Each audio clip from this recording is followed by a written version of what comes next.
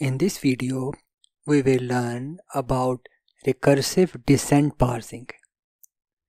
Recursive descent is a top-down parsing technique commonly used in compiler construction. It works by implementing the grammar of a language as a series of recursive functions where each function corresponds to a non-terminal in the grammar and processes the relevant portion of the input. Here are its key characteristics. Number 1. Recursive descent cannot handle grammars with left recursion as it is a top-down parsing method. Number 2. It is less efficient compared to the iterative parsing methods because recursion relies on the call stack which adds overhead and can make it slower. There are three main variants of recursive descent parsing. Number one, standard recursive descent parsing. This approach is typically used for LL1 grammars where a single look ahead token is sufficient to determine the correct production rule for a given input symbol. Number 2 recursive descent with first and follow sets.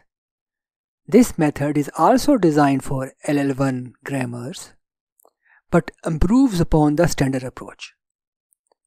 It provides better scalability, simplifies debugging, and handle epsilon productions more efficiently.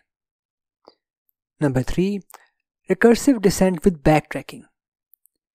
This variant extends the method to handle LLK grammars, allowing the parser to backtrack when encountering ambiguities. It supports parsing with more than one look ahead token. In this video, we will focus on the first variant of recursive descent parsing. Let's get started. Here is a simple LL1 grammar. S goes to terminal A, A or terminal B. A goes to B, A or C or epsilon. B goes to terminal B, C goes to terminal C. Now let me walk you through the recursive descent code that I have written. You can download this code from GitHub repository whose link is provided in the video's description. Let's go over the key component of the code together. First, we define a variable to store the input string and a look ahead variable initialized to 0. The look ahead represents the index of the next character in the input string that we need to match with the grammar's terminals. Next, we define the match function, which attempts to match the input with the current token while parsing the grammar. If the match is successful, the function increments the look ahead. If the match fails, an error message is printed and the program exits. For each non-terminal in the grammar, we create a separate function.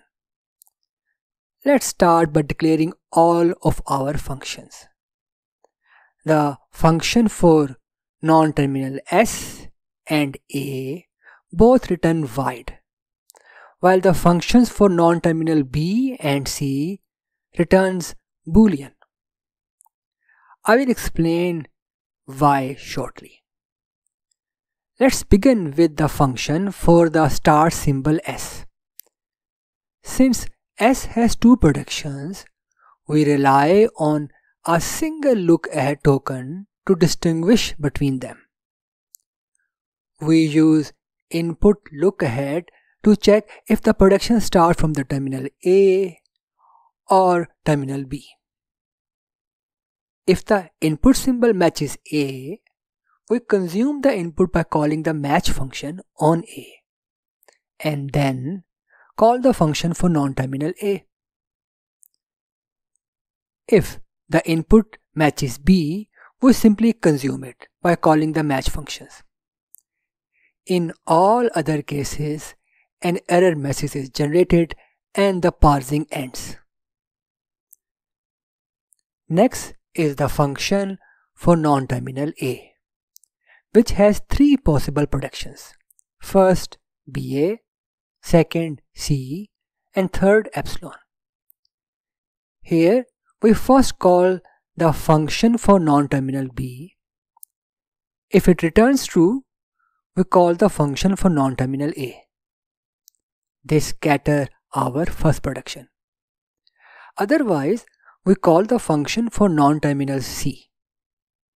If both B and C return false, we assume we have matched the epsilon production and we simply do nothing. Then we define the function for non-terminal B, which matches the terminal B. If it matches the function returns true otherwise false. Similarly, the function for non-terminal C matches the terminal C and return true if it matches otherwise it returns false. In the main function, I first take the input string from the user and append an end of input marker the dollar sign after it. Then I begin parsing by calling the function corresponding to the start symbol S. After parsing, I check if the entire input has been processed and if the current look ahead is the end of the input marker. If the look ahead symbol is not the end of input marker, an error is displayed. If everything matches and input is fully consumed, the parsing is considered successful. This simple recursive descent parsing method works well for LL1 grammar, but it can become less manageable as the grammar grows or when handling many epsilon productions. That is it for this video. Please support my channel. Your support means a lot to me. See you in the next video. Bye.